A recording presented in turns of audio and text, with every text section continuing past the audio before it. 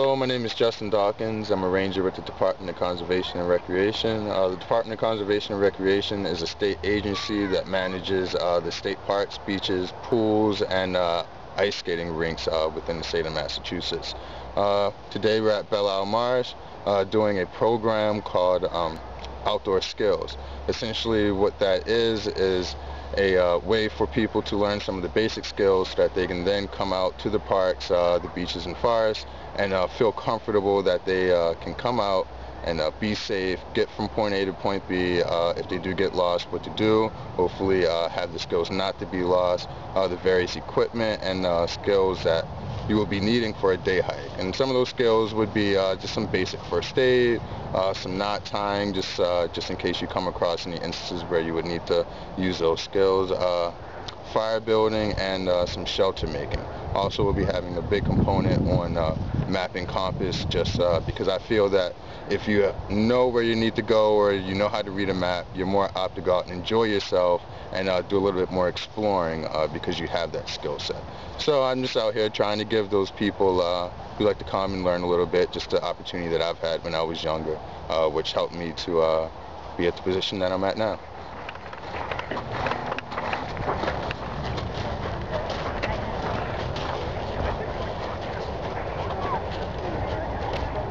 There are a couple of knots that I think, at least the basics right now, I think as far as being in the outdoors, you should know. Um, especially if you come across any instance where you find yourself in a hole and somebody drops you on a rope and they say tie yourself to it. So, in case it ever happens, you'll have the knot to know. Or at least be able to choose between a couple of the knots. There you go. Anthony's handing it.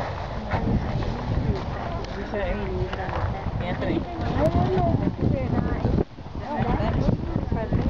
Yeah, left over, right? Then right over So do we have any knot gurus in here? No, few. Just not need to know. Getting by. and a not not need is not not I'm needed. A, I'm a need to know knot. All right, so uh, the first knot we're going to go over is called the bowline. Uh, looks like bow line, but unless you're on a boat, nobody's going to call it that. So we'll call it the boat. Um, essentially what it is, it's a closed uh, loop knot that will not cinch. So ultimately what you can do is you can tie it around something and still keep that loop so it won't close. So say you were to tie it around your waist or around your arms to get pulled up where you need just a little bit of support to hang on to something, that's not going to then cinch up on you and restrict uh, your circulation or your uh, flow that right here. Because this knot is going to a fixed place, you're going to take this and you're going to literally just make a loop right over top. Okay? It's very simple. You just loop it just like that. Now the key is you want your loop end to be on top. You don't want it to be underneath or behind it. Okay, you want it to be, when as you're looking at it, you want this line, the loop, to lay on top. Okay? So then what you're going to have, you're going to have this little hole. And this little rabbit right here. So then what the rabbit's going to do, it's going to pop out of the hole. Now because you're making a closed loop circle, this is not, you're not going to want to pull this all the way out because what you're making down in this lower portion right here is your loop. So what you're going to do is you're going to come out of the hole. You're going to then go around the tree from behind, behind the tree, and then back down the hole again. How do you Try it again. I'll hold that up. You ready? I'll show you. Ready? Did you do it like that, and then you can make your loop. First I make a V. See? And you want to. I've got the rabbit. You're gonna want to go like this. See this? That's your loop.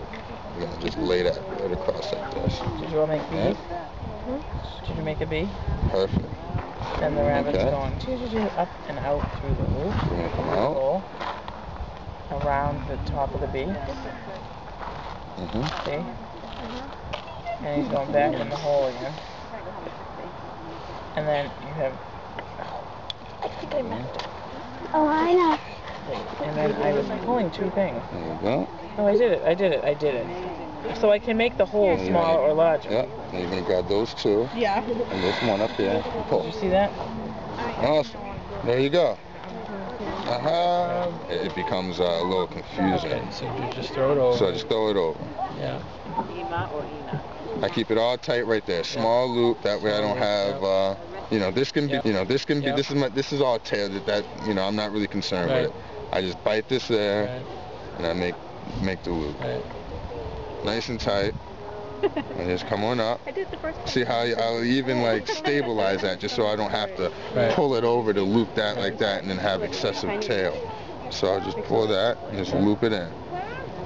Now Yeah, try doing I just put it back Makes it a lot down. easier to- Then when I do it just like laid out and small, it's just Then you're it's, you know you can see it you can see it clearly right there. And then you can see right where and this is where the key is when you're cinching the knot. Mhm. When I came out of the hole And then and I just went back down, Yeah. I created this loop here. Try doing Right. it. Right. Instead of like And it- your from this line to this line. together so And ultimately what I'm doing is I'm going to cinch that loop. So I have to Right. grab both of these Right. and this one. Yeah. And then that's where I put Okay. So If you one and then that That's all I did. I just Wait, just pull it down. Move it once, move it twice.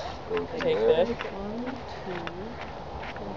And not are definitely one of those skills that uh, if you don't practice them, you lose them. Mhm. And uh, it's a great skill to, uh, to, to know. I think we have a bunch of Okay, so uh, next next week I hope to see all of you here Thank uh, you. What's because next week? next week we're gonna go a little bit more uh, into maps, compasses, um, the reasons behind the different types of maps and all the different uh, aspects of each map, and uh, how to uh, how to get from point A to point B.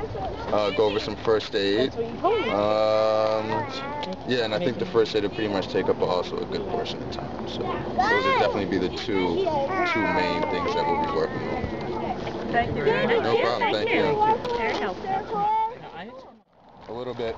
I, felt empowered enough so that I could go out into the woods and, and enjoy myself and uh, not have to really worry about the unknowns because I had the knowledge of uh, to, to beat those. You know, I wasn't really afraid of, of being wet and cold because I knew how to dress properly. You know, so once I had those skills, it just empowered me to go out there and uh, have a good time. So I'm just wanted to give back a little bit of that. So you basically, uh, so you basically uh, inner city, an inner city guy? Yeah, yeah. I grew up in Baltimore, Maryland, and uh, moved on up to Boston. Lived in Boston for about six years.